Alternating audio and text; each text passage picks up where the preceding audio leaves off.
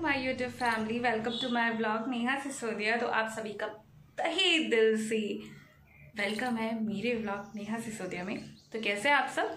और guys blogging बड़ा ही मुश्किल है। मैं अब करने लगी हूँ ना, तब समझ में आता है कि लाइक ब्लॉगिंग होती कैसे एक्चुअली फ़ोन को पकड़े रहना literally so so tough hats off है ब्लॉगर्स के लिए जो लोग ब्लॉगिंग करते हैं। कोई नहीं, मैं भी इस चीज़ में ढल जाऊँगी, बहुत ही जल्दी इवन ढल चुकी हूँ। तो अभी मैं बनाने जा रही हूँ पास्ता। देसी पास्ता है वो तो उसकी मैं रेसिपी दिखाऊँगी थोड़ी बहुत आपको। कोशिश करूँगी कि कंप्लीट दिखा पाऊँ, क्योंकि खुद ही वीडियो बनाना और खुद ही शूट करना। तो दिखाती हूँ मैं आपको मेरा पास्ता। आई होप आपको बहुत अच्छा लगेगा। और अच्छा लगेगा तो गाइस प्लीज़ ट्राई करना अपने घर में। और मुझे ज़रूर कमेंट करके बताना कि आपको कैसा लगा। और जिस जिसने मेरा चैनल अभी तक नहीं किया है सब्सक्राइब कर दो। कर दो। तो चलते हैं हम बनाने। तो मैंने अपने ह्यूमन ट्राईपोर्ट को बुला लिया, अपने पतिदेव को। मैंने आपको बोला था कि मैं अकेले नहीं शूट कर पाऊँगी तो मैंने कढ़ाई चढ़ा दी है और इसमें पानी है। और अभी जैसे पानी बॉयल हो जाएगा तो उसके अंदर हम अपने पास्ता डालेंगे। फ़िलहाल हम पानी गर्म कर लेते हैं। तो इसके अंदर मैं थोड़ा सा ऑयल डाल देती हूँ, ताकि जो हमारे पास्ता है वो थोड़ा खिला खिला रहे, और थोड़ा सा सॉल्ट थोड़ा सा और डाल देती हूँ। और इसमें मैं डाल देती हूँ पास्ता, जितना आपको बनाना है। मैंने साथ ही रख ली है और इसमें डाल दिया है थोड़ा सा ऑयल आपकी मर्ज़ी, आप घी बटर जिसमें भी डाल सकते हैं। तो ऑयल मेरा गर्म हो गया अच्छे से। अब इसके अंदर मैं अपना ये चॉप्ड गार्लिक डाल देती हूँ। गार्लिक जब अच्छे से हो जाएगा ब्राउन तब इसके अंदर हम ये प्याज डाल देंगे, जो कि मैंने स्लाइस में कट किया है। तो प्याज हमारे अच्छे से ब्राउन हो गया अब इसके अंदर हम प्याज डाल देंगे? तो हमारे प्याज ब्राउन हो रही है। थोड़ा सा और कर देते हैं। और बाहर का मैं आपको वेदर दिखा ऐसा वेदर देख रहे हो, कितना ही सही हो गया है। बारिश आ सकती, पर आती नहीं है जल्दी से बट होपफुली आ जाएगी। तो हमारे प्याज हो रही है गाइस ब्राउन ऑलमोस्ट हो चुकी है। प्याज हमारी हो गई है, इसमें मैंने थोड़ी सी मिर्च डाल दी है। इसको 10 सेकंड तक मैं भूनूँगी, फिर मैं टमाटर ऐड कर देती हूँ। टमाटो को मैंने अच्छे से ग्राइंड कर लिया है और इसको प्यूरी बना के मैं ऐड कर लूँगी मैंने तीन टमाटर यूज़ किए हैं इसमें। अच्छे से भून गए हैं। देख रहे हो आप, अच्छे से हो गए हैं।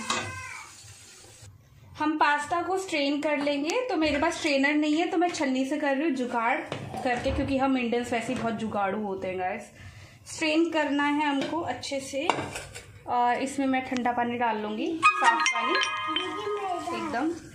ओके तो, तो पास्ता अच्छे से स्ट्रेन हो गया आप देख रहे हो एकदम खिल गया बिल्कुल अच्छे से।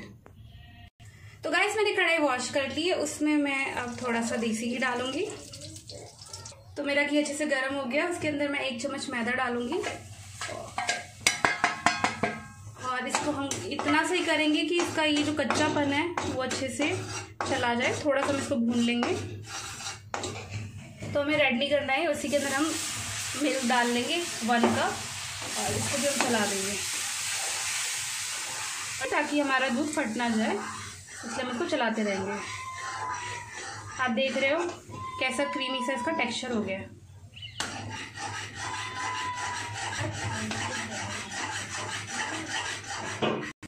अब इसके अंदर हम हमारा ये प्याज, टमाटर और लहसुन सारा ऐड कर लेंगे।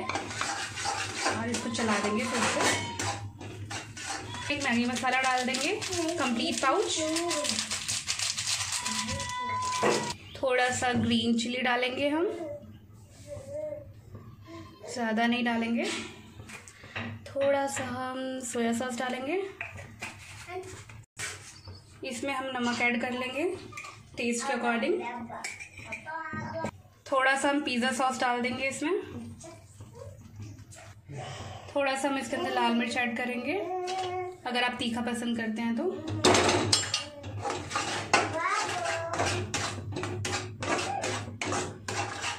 अभी इसके अंदर हम अपना सारा पास्ता ऐड कर लेंगे हमारा पास, पास्ता ऑलमोस्ट बन चुका है, लेकिन अभी भी इसके अंदर एक चीज़ की कमी रह गई है, जो कि है रेड सॉस थोड़ा सा हम इसके अंदर कैचअप ऐड करेंगे। इनफ है। जितना आपको मीठा पसंद है, आप उतना कर सकते हो। तो ये हमारा पास्ता बन के रेडी है और मैं आपको टेस्ट करके बताऊँगी। तो गाइस आप देख रहे हो कितनी यम्मी लग रही है और ये एकदम खिली खिली है, बिल्कुल चिपकी नहीं है।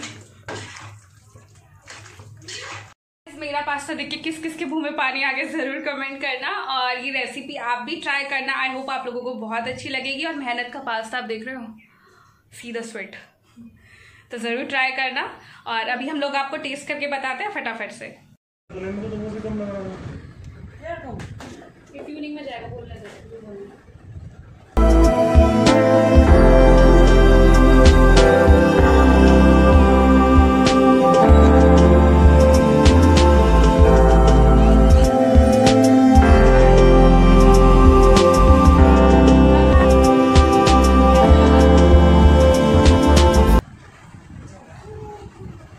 अलग टेस्ट है।